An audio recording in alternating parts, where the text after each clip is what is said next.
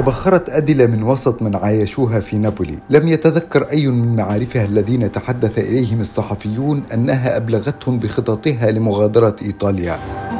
الحقيقة أن الوقت الذي اختفت فيه أسطورة ماريا أديلا من نابولي كان نفسه وقت إعادة إحياء أولغا كولوبوفا ضابطة المخابرات الروسية في موسكو لتستمتع بحياتها في شقتها الجديدة في العاصمة.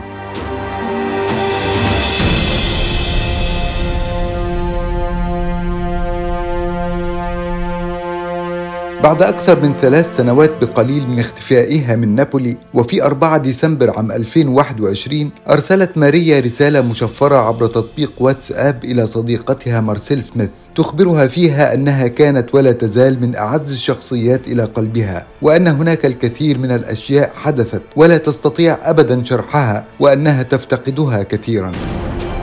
اختفاء شخصية اجتماعية شهيرة مثل ماريا أديلا من نابولي بهذا الشكل كان دافعا لمجموعة من الصحفيين للبدء في هذا التحقيق الذي هزت نتيجته قواعد الجيش الأمريكي وحلف الناتو. بدأ الصحفيون البحث داخل إيطاليا وفي الأماكن التي اعتادت أدل الذهاب إليها لكنهم لم يجدوا لها أثرا. في مطار نابولي وجدوا اسم ماريا أديلا ريفيرا مسجلا في كشوف المسافرين في الرحلة المتجهة من نابولي إلى موسكو بتاريخ 15 سبتمبر عام 2018 فانتقل البحث من إيطاليا إلى روسيا. سافر الصحفيون إلى موسكو وبمساعدة مجموعة من المتعاونين والأصدقاء هناك بدأوا بحثهم عن قشة وسط الملايين من البشر.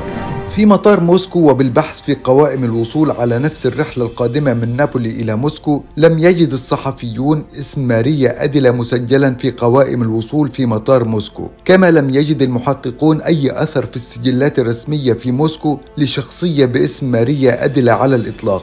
وهنا أدرك المحققون الصحفيون عدم جدوى البحث من خلال الأسماء فانتقلوا إلى تقنية البحث الحديثة من خلال الصور.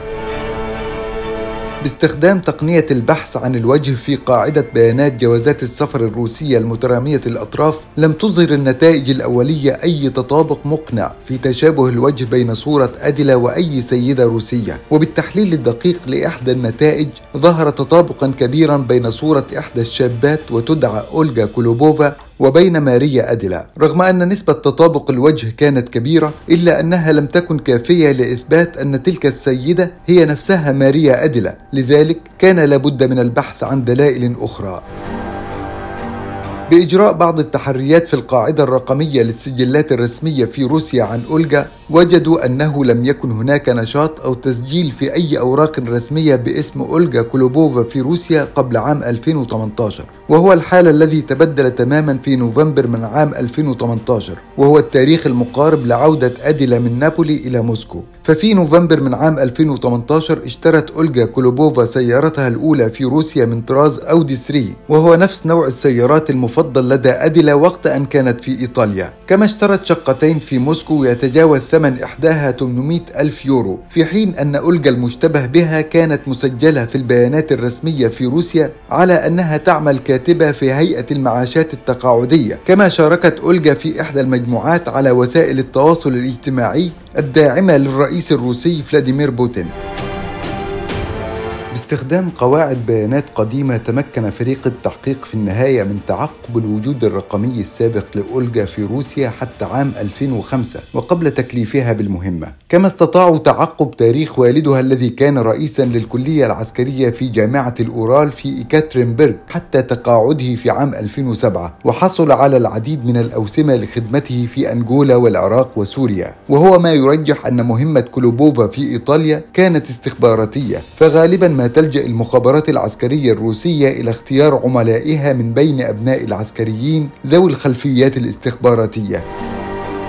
في النهاية حصل فريق الصحفيين على صورة حديثة لأولجا كولوبوفا والتي كانت متطابقة تماما مع صورة ماريا أديلا. بحث الصحفيون عن رقم هاتف أولجا على برنامج واتساب ووجدوا دليلا قويا على أن أولجا وماريا أديلا هما بالفعل نفس الشخص. فالصورة التي استخدمتها ماريا أديلا كملف تعريف خاص بها على تطبيق فيسبوك هي نفس الصورة التي استخدمتها أولجا لملف تعريفها الشخصي على برنامج واتساب.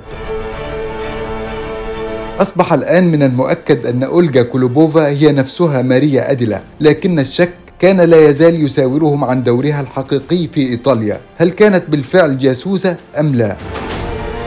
تشابه رقم جواز سفرها مع أرقام جوازات سفر جواسيس آخرين في المخابرات العسكرية الروسية وهروبها من إيطاليا بعد القبض على أحد الجواسيس الروس في لندن وتعمد إخفاء شخصيتها الحقيقية من السجلات الرسمية الروسية وعمل والدها في بعض المهمات الخاصة خارج روسيا. كل تلك الدلائل ترجح أن مهمة أولجا في إيطاليا كانت بغرض التجسس لكنها لم تصل بعد إلى مرحلة اليقين.